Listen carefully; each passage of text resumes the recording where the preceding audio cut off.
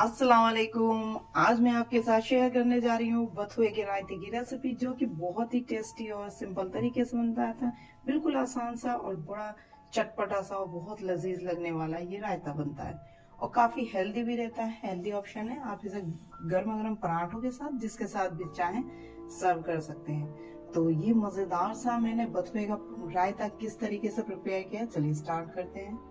मैंने एक पेन में लिए एक छोटे चम्मच के करीब सरसों का oil mustard oil must use करिएगा। इससे बढ़िया किसी और तेल में स्वाद नहीं आता। तो एक कोटी लहसन की बारीक चॉप करके सबसे पहले उसको क्रैकल करा फिर मैंने ये एक बंच बतुआ था। बतुए के सिर्फ़ पत्ते लेने, डंठल नहीं लेने।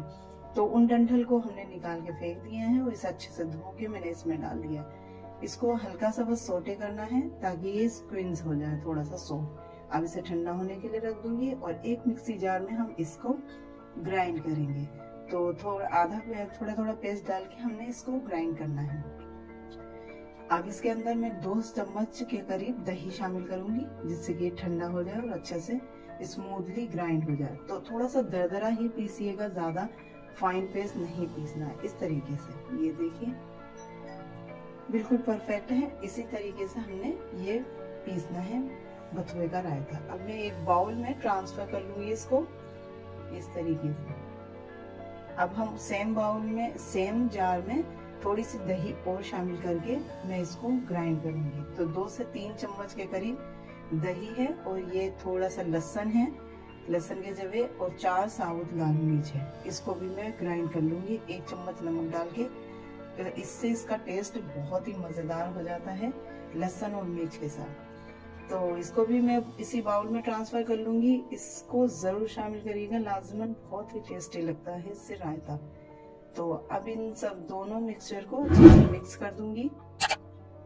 अच्छा हम क्या करते थे? जब हमारी अम्मी छोटी थी, हम लोग छोटे थे तो पकौड़ियाँ डालती थी इसमें बेसन की। तो अगर आप पकौड़ी ना डालना चाहें तो ये बूंदी होती है, जो बाहर मिल जाती है मार्केट में आसानी से अवेलेबल होती है। आप इसको इसके अंदर ज़रूर शामिल करिए। बहुत ही अच्छा लगता है। और पकोड़े से तो और ही मज़ा आता है। तो इसको अच्छे से मिक्स करके इसे मैं रख दूँगी कवर करके जब तक ये एब्जॉर्व करती है। आप इसका तड़का तैयार कर लेते हैं। तो सेम पैन में मैंने एक चम्मच के करीब सरसों का ऑयल डाला, आधा चम्मच जीरा क्रैकल होने रख दिए और एक पिंच मैंने हींग शामिल करी है।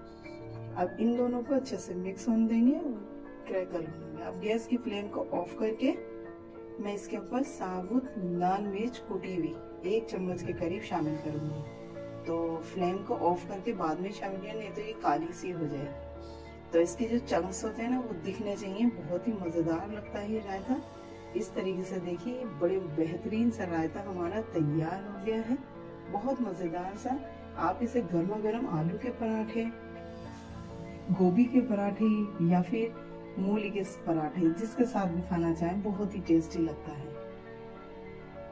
तो इस विंटर सीज़न में आप इस रेसिपी को ज़रूर ट्राई करिएगा। ट्राई करें तो अपना फीडबैक ज़रूर दीजिएगा। रेसिपी पसंद आया तो फैमिली फ्रेंड में शेयर करना मत भूलिएगा। और एक लाइक ज़रूर कर दीजिएगा, जिससे कि काफ़ी हौसला अफजाई मिलती है। मैं आपको इसका टेक्सचर दिखा रही हूँ। ये देखिए, कितना बेहतरीन टेक्सचर आया है। इतना ज़बरदस्त था और टेस्ट में एकदम लाजवाब बनता है। एक बार ज़रूर ट्राई करिएगा इस तरीके से। तो एक और नई रेसिपी के साथ मैं आपके सामने फिर हाजिर रहूँगी। अपना ख्याल रखें, अपनी फैमिली का ख्याल रखें और दुआ में मुझे भी याद रखें। अल्लाह हाफिज।